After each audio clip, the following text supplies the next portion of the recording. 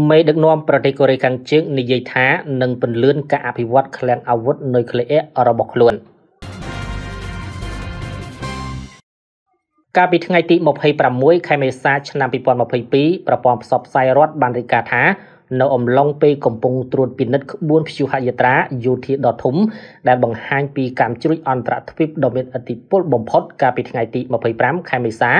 មេដឹកនាំប្រទេសកូរ៉េខាងជើងលោកគីមចុងអ៊ុនបាននិយាយថាប្រទេសកូរ៉េខាងជើងនឹងពន្លឿនការអភិវឌ្ឍឃ្លាំងអាវុធនុយក្លេអ៊ែររបស់ខ្លួនយ៉ាងឆាប់រហ័ស។ ទោះបីជាមានទណ្ឌកម្មខ្លាំងក៏ដោយប្រទេសកូរ៉េខាងជើងបានបាញ់សាកល្បងអាវុធហាមឃាត់មួយចំនួននៅឆ្នាំនេះខណៈពេលដែលមិនអើពើនឹងសំណើរបស់សហរដ្ឋអាមេរិកក្នុងការចរចាខណៈដែលអ្នកវិភាគប្រមានអំពីការបន្តការសាកល្បងនុយក្លេអ៊ែរឡើងវិញប្រព័ន្ធផ្សព្វផ្សាយរដ្ឋបានរាយការណ៍ថាស្លៀកពាក់ជាឯកសន្តានយោធាពណ៌ស